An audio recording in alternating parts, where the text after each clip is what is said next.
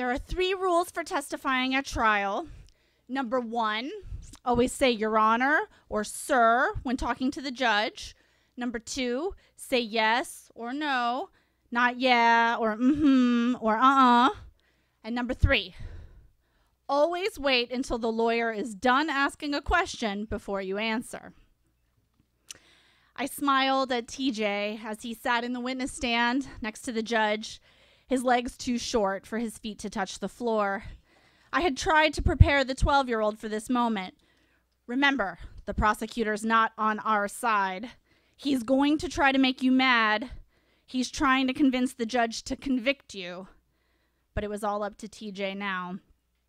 The judge turned to the assistant state attorney.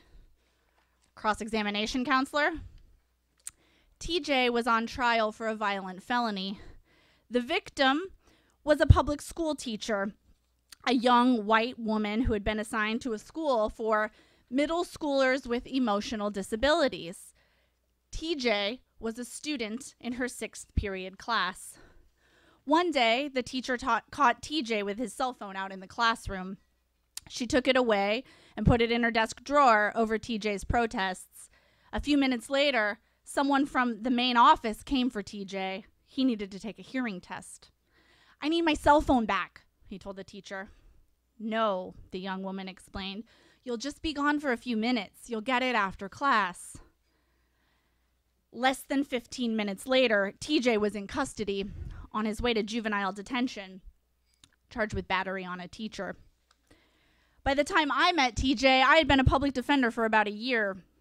And I was filled with the self righteous arrogance of a 25 year old who chose not to make a lot of money and chose to live in Florida under Governor Jeb Bush among people who had just reelected President George W. Bush and who chose not to be a real lawyer but to be a public pretender instead.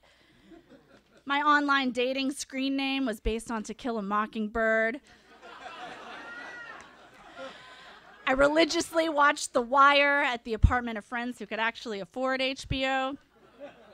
And I mocked the preppy white boys who came down to Florida from fancy Northeastern law schools so they could put black and brown people in prison. Not like me, oh no. I was a nerdy white girl who came down to Florida from a fancy Northeastern law school to try to keep black and brown people out of prison. I was one of the good guys. During during my first week at my fancy law school, a professor said in the middle of class, If you came to law school to change the world, you're in the wrong place. Go to film school. I scoffed. That winter, I took an unpaid internship interviewing inmates at Rikers Island who had been beaten by guards. As I would ride the subway to the end of the line in Queens to the bus that only carries people visiting folks on the inside, I thought to myself, what does Professor Kramer know anyway?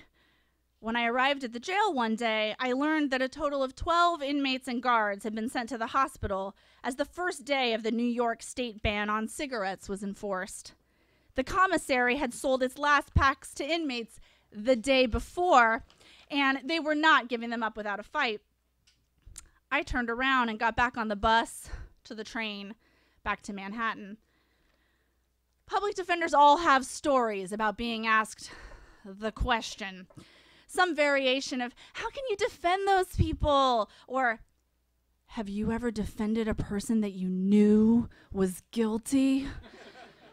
My quick and easy answer is that no person should live at a place like Rikers Island, no matter what they've done.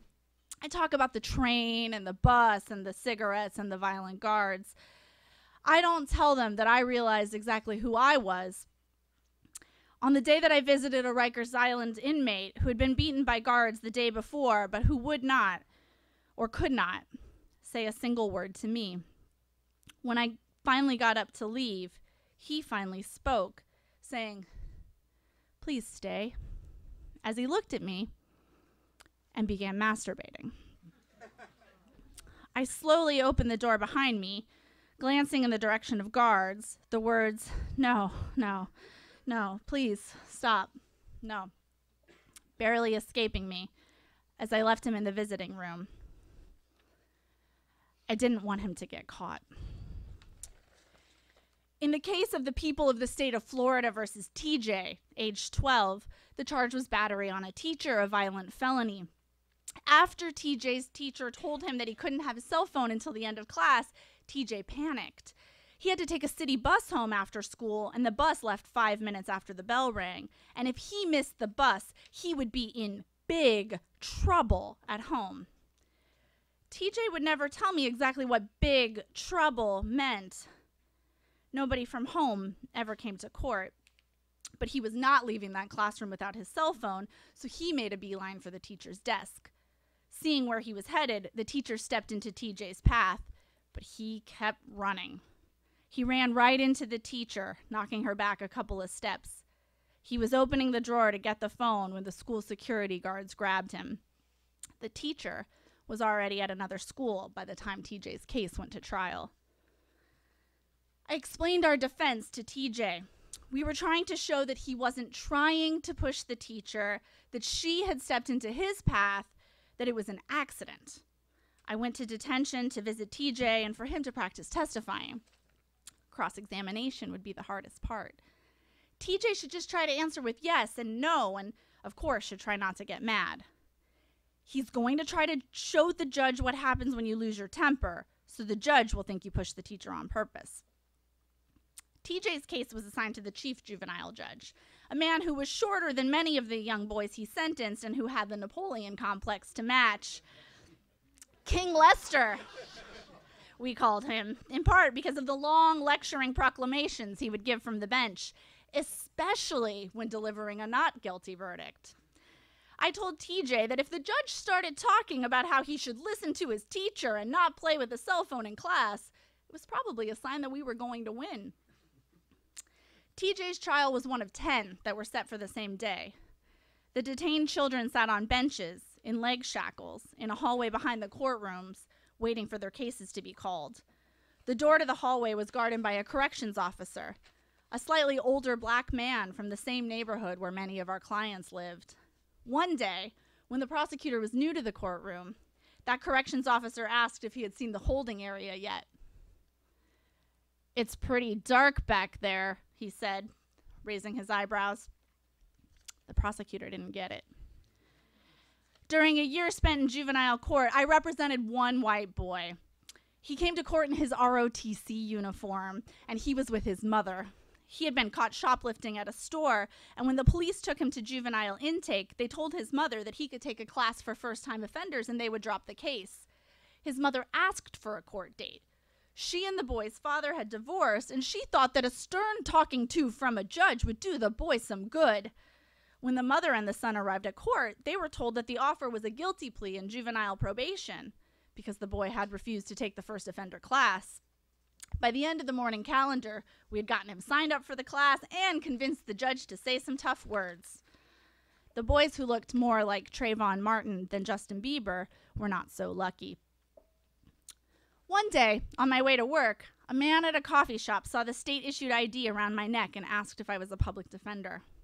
When I said yes, he turned to his young son and said, This lady helps the bad guys when they get in trouble. I wanted to snap back at him. Tell me what you do for a living so I can moralize about your career. I ordered my bagel instead. and thought that there probably weren't any cops at this boys' school.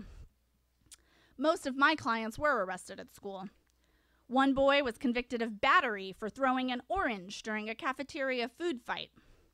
Another was beaten by school police after he refused to go to the principal's office for talking back to the teacher. And another client convinced a female friend to let him turn in the knife that she brought to defend against bullies.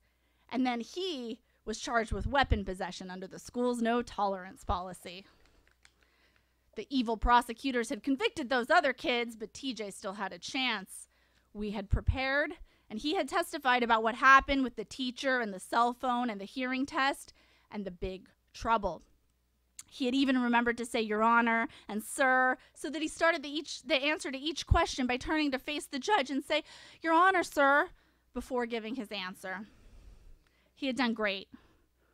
Now he just needed to survive the cross examination. The prosecutor started by asking about the cell phone policy. TJ knew that he wasn't supposed to have a cell phone in class, didn't he? Yes, sir, Your Honor, sir. And yes, he knew that the teacher would take the phone away. And yes, he knew that he would get it back at the end of class. I had already asked him about all of this. The prosecutor started ramping up. You said you needed your cell phone back, didn't you? Yes, sir. The teacher told you that you couldn't have it back, didn't she? Yes, sir. But you really wanted it back, didn't you? Yes, sir. And when the teacher said you couldn't have it, that made you angry, didn't it? I struggled to think of an objection. But before I could get to my feet, TJ turned to the judge, looked him in the eyes, and said, Your Honor, sir, the whole reason they put me in that school in the first place is because I got a problem with anger. King Lester stopped and looked over at TJ, and I knew the 12 year old had just won his own trial. It was as if, for that moment, the judge realized the insanity of a system that would prosecute an emotionally disabled child for a criminal lack of impulse control. The judge's proclamation before the not guilty verdict was unusually brief. Every public defender has stories they tell to answer the question How can you help the bad guys when they get in trouble? How can you defend guilty people? I tell people that I don't believe in bad guys. I explain that guilty just means that a person did what he was accused of doing, but doesn't tell us anything about why. Often, I tell people about TJ's case. The whole reason they put him in that school in the first place is because he had a problem with anger. Thank you. It's Lauren Cusitello.